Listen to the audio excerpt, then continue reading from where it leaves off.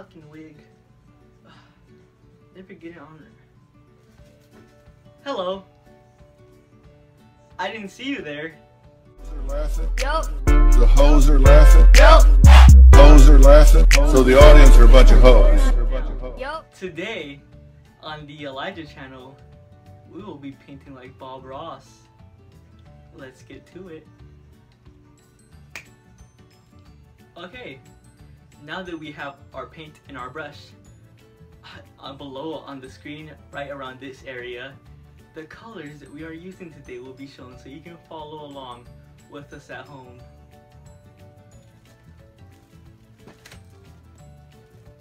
Okay, so we'll be starting with our our green right here, going on the left index of the triangular figure down to the other side.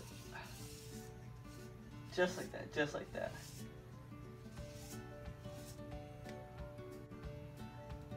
Now that we have our line, we will be using our red. Okay? Now get the red on the brush like so, maybe just a little dab. And do some, some lines, you know. This part right here, this is up to you. I, I like to do lines like this. This is just me, y'all know me. I like to just put them random spots. Now that we are finished with our red, we are going to go back to our green. Put a little dab as last time. And now you're going to want to make a line like this, okay? Just like that. If you don't do it like that, you make a, a mistake. No, no, no. They aren't mistakes. They are happy little accidents. And now that we are finished with our green line, you know what's next? Some blue. Let's not get too out now. Put some dots, little splats everywhere. You want it to be real splatful and blue. Now we will go back to our red. And you want a good amount, a good amount red. Now you're gonna be drawing a line just like so, like so, okay?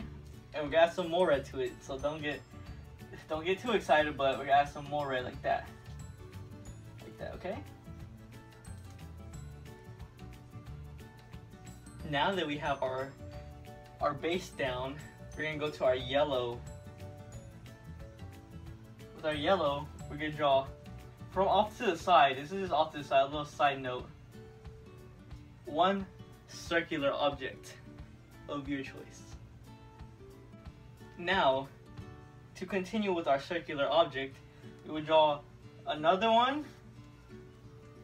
And with that being said, you can draw a good couple of lines, you know, just wherever you want.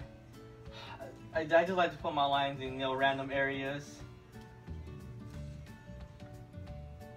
Now that we're almost done, you can take it off of the wall where you have it, you know, wall, easel, just wherever you have your painting, and you're gonna want to flip it upside down now.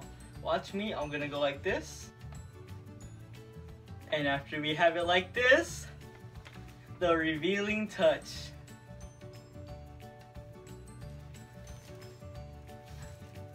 Now that we are finished painting, I have a final message before we go.